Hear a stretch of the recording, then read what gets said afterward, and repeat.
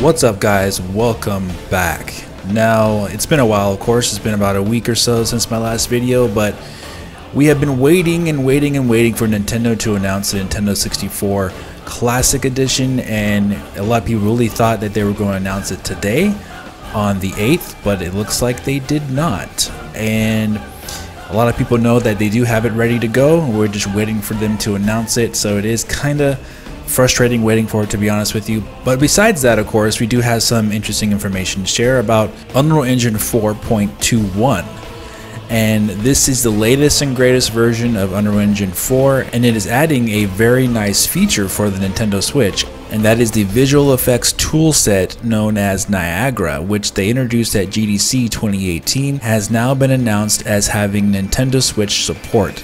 So before this, the Nintendo Switch was using the standard Cascade toolset, and this is the oldest toolset that Unreal Engine has supported for the last 10 years from what they themselves had said at GDC and different interviews. So they have said it has been a long time coming that they're going to release a brand new updated and programmable custom visual effects toolset for Unreal Engine 4 for developers. This is basically what the Unreal Engine 4 developers are saying at Epic that they're going to be using in the next generation going forward for particle effects, visual effects, all kinds of different effects that you can use. And in the old previous Cascade version, it is a lot more simple to use, obviously, because it's a lot less varied in what you can do with it. But as they brought out, there are a lot of disadvantages with Cascade as well. But don't take it from me. Let me show you exactly what they're talking about here in this brief overview. So take a look at this. Niagara is the replacement for the Cascade VFX or particle system.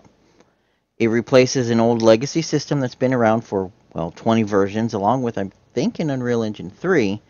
And we now have a more fully programmable visual effects simulator. It's node based, it has modular behaviors, we can create our own functions and modules. It just gives us more. The older system looks like this. This is our Cascade system.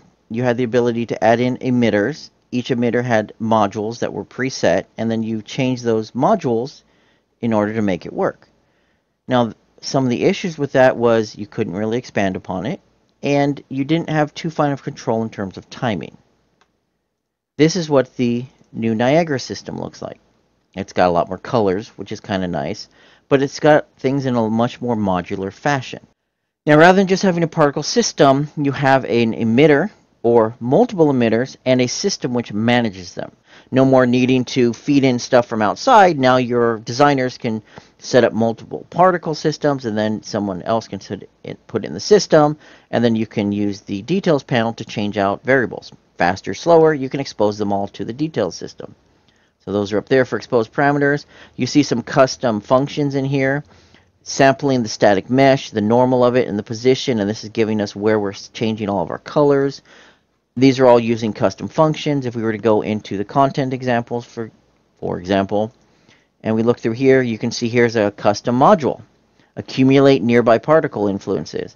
And it reads in data from the mesh, and it outputs where it's at, and that's how we get our little effect, where it's going from here, and it's being influenced to the right to our static mesh and other things like overriding the renderer and then skeletal mesh reproduction. So you can see this breaking apart a skeletal mesh or actually, well, breaking apart and put it back together, all inside of our particle system.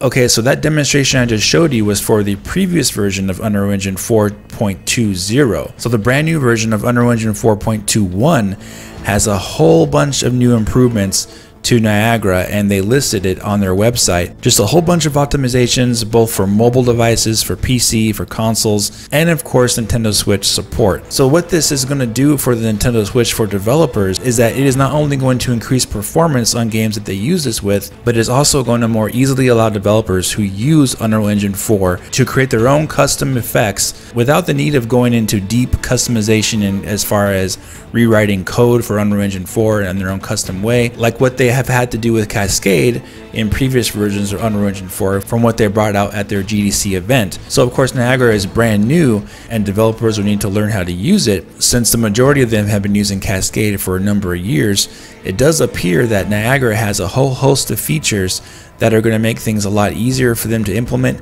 to create their own custom effects, to make things look really, really good with less performance cost. So of course for the Nintendo Switch, since they added this support, it is a benefit in those two areas. In the area of creating effects that look better with less time involvement, and of course the performance increase that will come with it from developers who use this when they make games for the console. So say for example they want to release the next Unreal Engine 4 game on the Nintendo Switch as a cross-platform game, they can more easily implement the effects from the PS4 and Xbox One versions of those games, with quite possibly them being able to recreate those assets a lot easier with Niagara on the Nintendo Switch, since it uses a more varied, customizable tool set in order for them to do that, and a lot less working on the actual code itself, which takes a lot more time and effort, and of course, manpower and money in development for Nintendo Switch ports. So, of course, since this is brand new, we're not going to be seeing games that use this for a while, but this is a good step forward for developers who want to make their games using Unreal Engine 4 for the Nintendo Switch and have the compatibility and have a lot more freedom for them to use these more custom effects that not only run better but have a lot more variety in ways for them to make them look better without having to do a whole bunch of extra work to do so. So I thought this was a pretty big update for the Switch, so I wanted to share that with you guys. Let me know what you think about this in the comment section. And if you did enjoy this video, please hit the like button, subscribe for more, and I'll talk to you very soon in the next video. Have a great day.